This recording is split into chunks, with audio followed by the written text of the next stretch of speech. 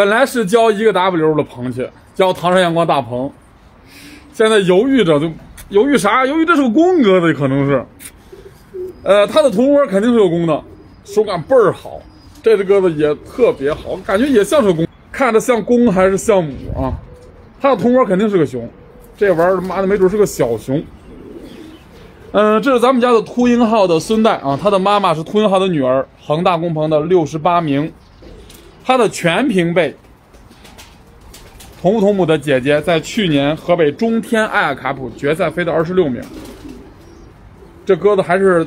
工棚专线，但是这个就是感觉着，我想交词，因为一一个 W 一只的参赛费，咱肯定是交最有底的、最心里面最踏实的鸽子。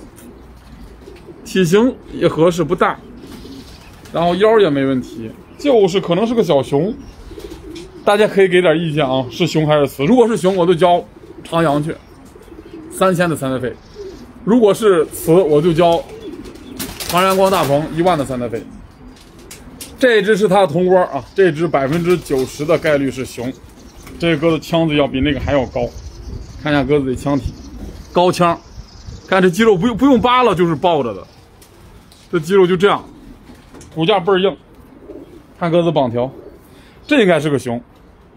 其实这鸽子比那个鸽子手感好，腰倍儿好，腰身也长，体型也比那根儿大。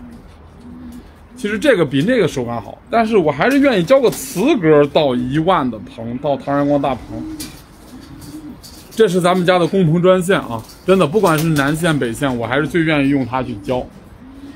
行，这只过两天交长阳去得了，交长阳。